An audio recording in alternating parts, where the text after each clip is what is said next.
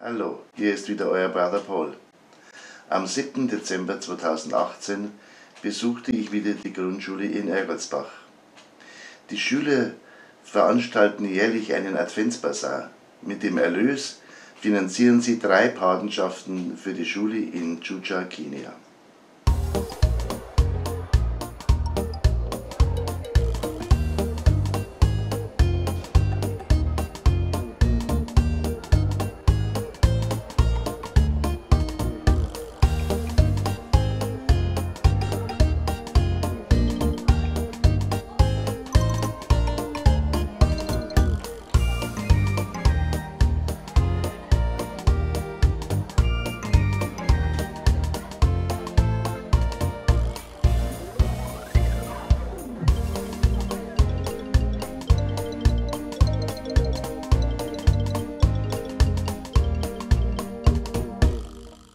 Ja, Frau Ebender, ich kenne Sie schon vom ersten Tag und Sie haben ja selber auch ein Patenkind, das Sie unterstützen.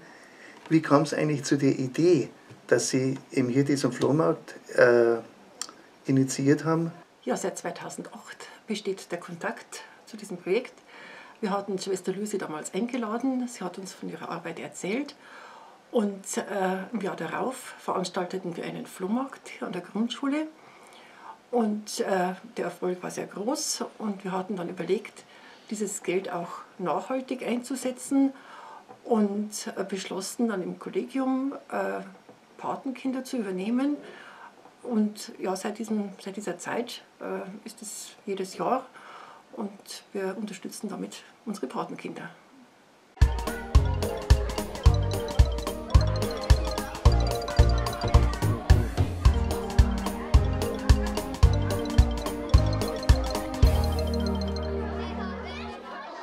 Ja, Frau Herdampf, Sie sind die Nachfolgerin von der Frau Ewender in Sachen Kenia. Das dritte Jahr sind Sie jetzt schon da. Was kommt da so im Durchschnitt rein da im Jahr? Und äh, Sie haben ja noch eine neue Idee.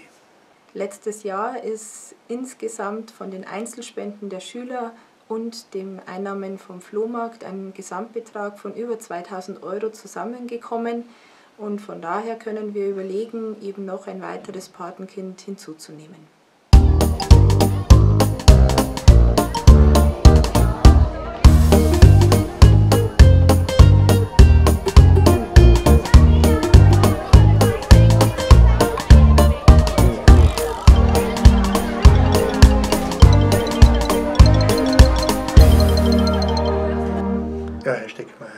Jetzt bin ich ungefähr das achte Mal da. 2010 haben wir die Patenschaften gegründet und Ihre Schule unterstützt vier Kinder in Kenia. Meine Frage ist, Sie machen jetzt schon so lange dieses Projekt mit. Was ist so die Intention, dass Sie so dahinter stehen hinter dem Projekt? Ich denke, äh, Schule besteht nicht nur aus äh, Rechnen, Lesen, Schreiben, Aufsätze schreiben oder sowas, sondern wir müssen die Kinder heutzutage auch das Soziale, das, den Mitmenschen näher bringen.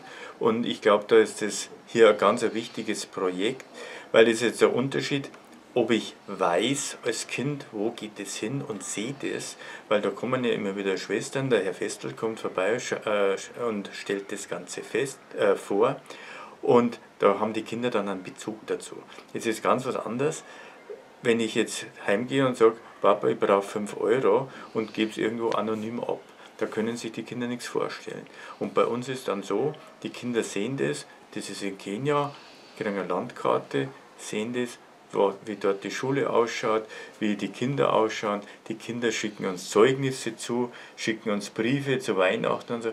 Und da haben die Kinder einen Bezug dazu. Und ich denke, das ist ganz wichtig, äh, weil dann hier auch eine gewisse Bindung dann aufgebaut wird oder entsteht. Und die Kinder machen das dann gerne.